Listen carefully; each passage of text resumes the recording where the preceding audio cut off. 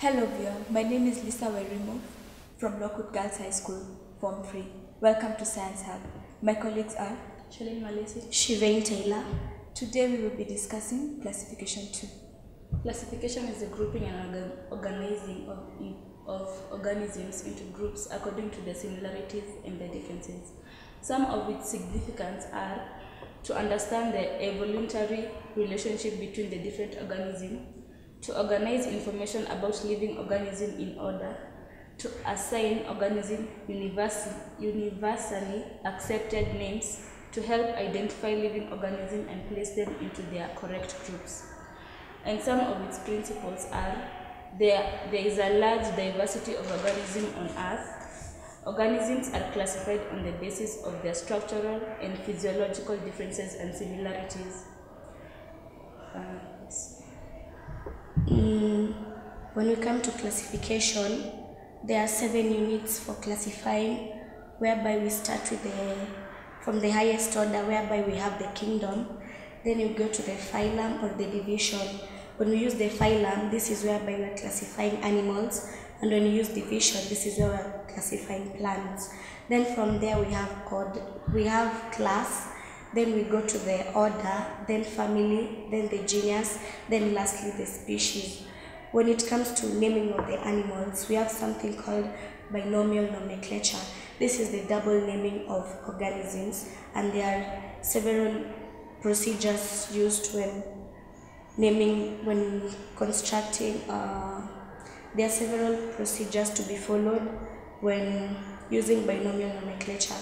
First of all, the generic name should be is written okay it's the double naming of the organism. So the generic name is written the first one then followed by the species name. And the first letter of the generic name should be written in a capital letter.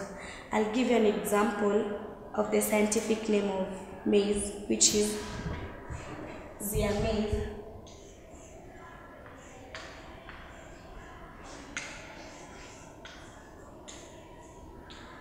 As I've said before, when using binomial nomenclature, it starts with the generic name. So Zea is the generic name of maize, and then it follows by the species name. As you can see, the first letter of the generic name, it starts with a capital letter, then the rest are written in small letters.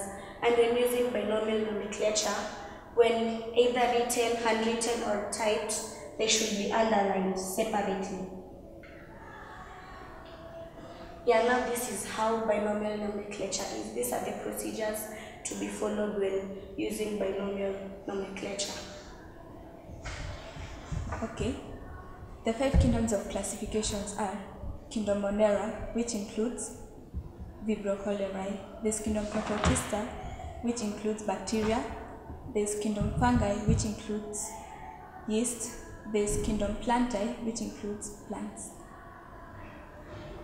Oh, moving on to Kingdom Plantae, we have several divisions. As we said earlier, when classifying plants, we use division. So the examples in Kingdom Plantae, it has three divisions, which I'm going to talk about them. The first division is its division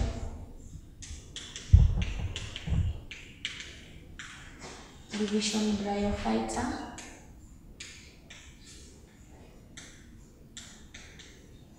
then the second one is division. Pteridophyta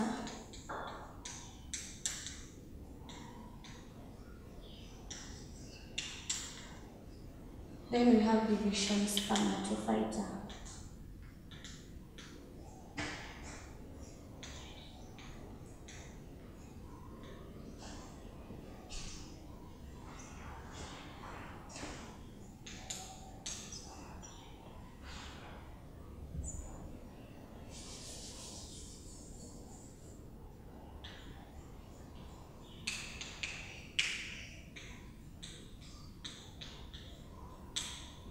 These are the divisions in Kingdom Plantae.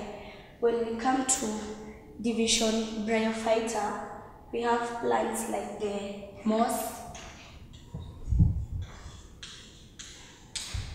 Just to, to give uh, general characteristics of these three divisions is that both of these three divisions they produce asexually or sexually. When they are producing sexually, we have the male and the female gametes, which are the antheridia and the archegonia.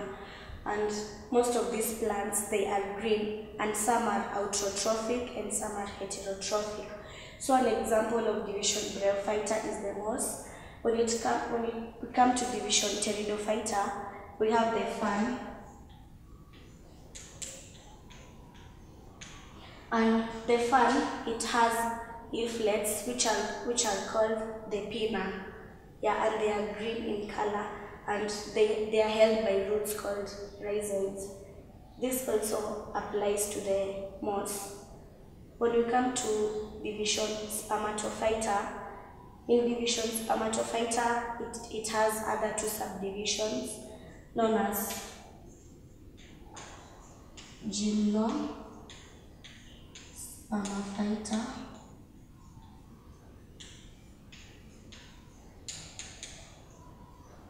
gymno spermatophyta a fighter.